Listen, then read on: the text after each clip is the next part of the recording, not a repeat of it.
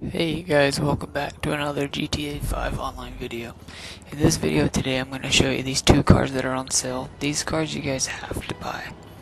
They're freaking awesome. So go to your phone, go to Legendary Motorsports, and you want to go to the these two cars, the Ocelot XA21 and the Tron bike.